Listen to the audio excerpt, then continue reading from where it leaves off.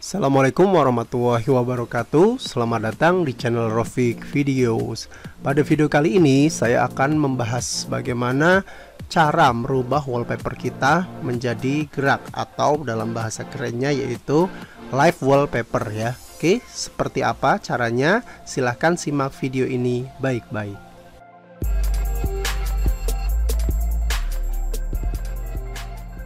Uh, jika komputer kalian ingin terlihat tidak biasa ya atau agak spesial dilihatnya ya, mungkin kita bisa mengubah ya salah satunya yaitu dengan wallpaper. Wallpaper yang biasa kita gunakan yaitu hanya sebuah gambar ya tanpa ada gerakan. Nah, pada video tutorial kali ini saya akan memberikan tutorial ya bagaimana cara agar desktop kalian itu bisa uh, menampilkan wallpaper yang bisa bergerak ya seperti animasi gitu.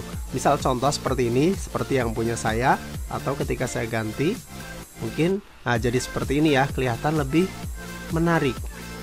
Nah atau mungkin seperti itu. Itu wallpapernya ya bisa bergerak. Nah bagaimana caranya? Apa saja yang kita butuhkan? Silahkan disimak ya. Yang pertama kita membutuhkan aplikasi yang bernama Desktop Live Wallpaper. Nah, ini bisa kalian download ya. Uh, bisa kalian download gratis merupakan uh, software dari Microsoft. Nah, silahkan nanti ini khusus untuk Windows 10 bisa kalian dapatkan secara gratis. Nah, kemudian untuk wallpapernya, wallpaper gerak kalian bisa uh, mengunjungi desktophan.com. Nah, nanti untuk linknya saya sertakan di kolom deskripsi. Nah, seperti ini. Fitur uh, ada ada banyak macamnya ya. Nah, caranya bagaimana? Nah, nanti silahkan kalian download. Misal di sini ya di desktophan kalian download satu. Nah,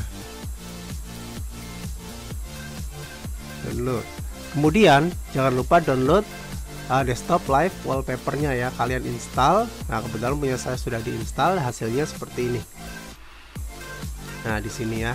Nanti setelah kalian download wallpapernya dan aplikasinya sudah kalian install nanti silahkan kalian bisa cari wallpapernya dengan mengklik browse folder.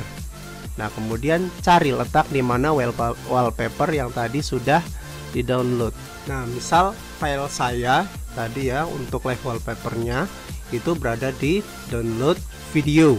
Nah kita klik di sini kemudian kita klik OK. Nah di sini nanti muncul ya.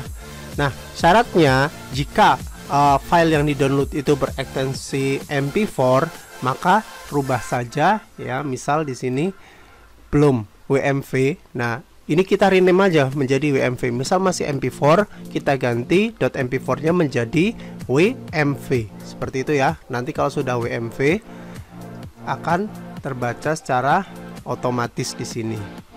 Nah misal nanti kalau sudah terload kita tinggal klik saja. Seperti ini. Ya nah hasilnya nanti sudah bisa berubah. Seperti itu ya Oke, sangat mudah bukan? Uh, semoga bermanfaat video ini. Terima kasih. Assalamualaikum warahmatullahi wabarakatuh.